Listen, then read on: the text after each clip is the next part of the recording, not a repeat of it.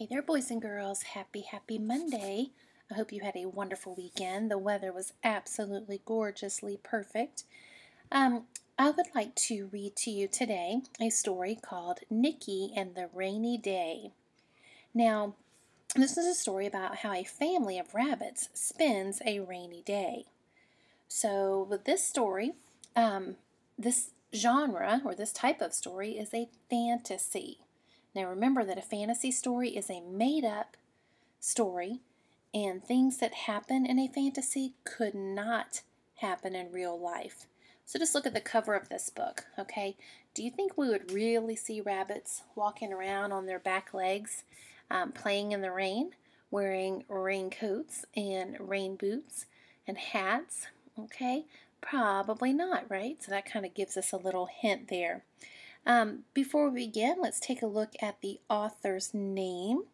And it says Valeri Gorbachev, or Gorbachev. And I want you to think for a moment what the author does. Okay, we haven't talked about this in a while, but remember, an author is the person that writes the words. Okay, and the illustrator is the person that draws the pictures or paints the pictures. All right, so I believe that this person did the whole thing because it just has the name at the top. It doesn't say written by and illustrated by. It's just one name. So that same person is the author and the illustrator. All right, so we're going to get started. And again, it's called Nicky and the Rainy Day. Oh, look at all the bunnies looking out the window. Uh-oh, look at that guy. Hmm, looks like a fox sneaking off. Let's see what's going to happen. It was a rainy day. Nicky and his brothers and sisters couldn't go out to play. It's awful to be stuck inside all day, said Nicky. It's so boring. Everyone agreed. Now, I would have thought Nicky was a girl because all the Nickys I know are girls, but it says Nicky and his brothers.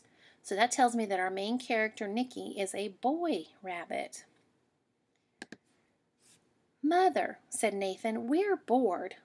We don't like the rain, said Nora. Yes, said Nellie, we can't go outside.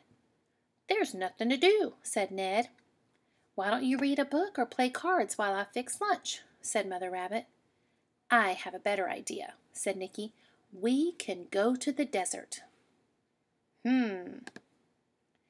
The desert is sunny and bright, with beautiful yellow sand, and it never rains there.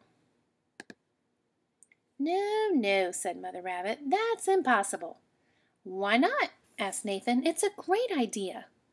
But it's so hot in the desert, said Nora. Yes, said Nellie, and there's nothing to drink there. And we could get lost, said Ned. Okay, said Nicky. Then we'll go to the mountains.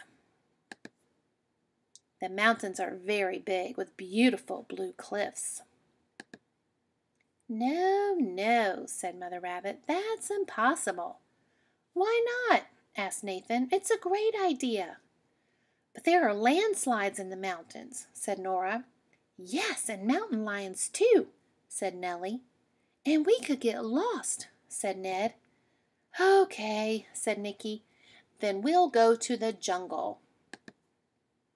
The jungle is leafy and green and very beautiful. No, no, said Mother Rabbit. That's impossible.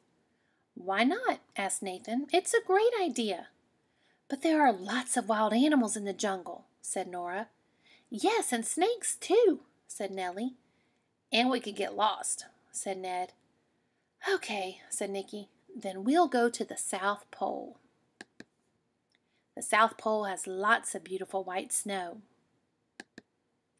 No, no, said Mother Rabbit. That's impossible. Why not? asked Nathan. It's a great idea. But it's freezing cold at the South Pole, said Nora. Yes, and there are blizzards too, said Nellie. And we could get lost, said Ned. Okay, said Nicky. Then we'll go to outer space. I hope you're noticing a pattern here throughout this story. Outer space is filled with beautiful red and orange planets. No, said Mother Rabbit. We're not going to outer space. We are going for a walk in the meadow. Look, The rain has stopped and the sun is coming out. Hooray! cried all the little rabbits. They put on their raincoats and boots and headed outside. Isn't it nice to go for a walk after the rain? asked Mother Rabbit. Oh, yes, agreed Nicky and his brothers and sisters as they splashed in the puddles. It's fun. And beautiful, too, said Mother Rabbit. Look up there. Wow, said Nathan. It's great. It's blue and green and yellow and orange and red, said Nora. With white clouds, too, said Nellie.